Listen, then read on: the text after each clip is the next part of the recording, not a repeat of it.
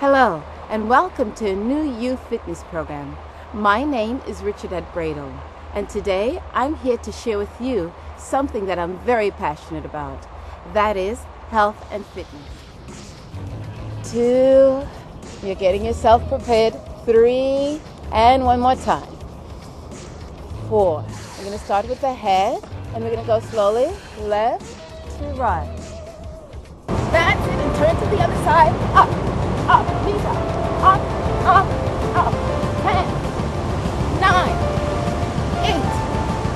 seven, that's it, six, five, four, three, two, and one. Yes, good job.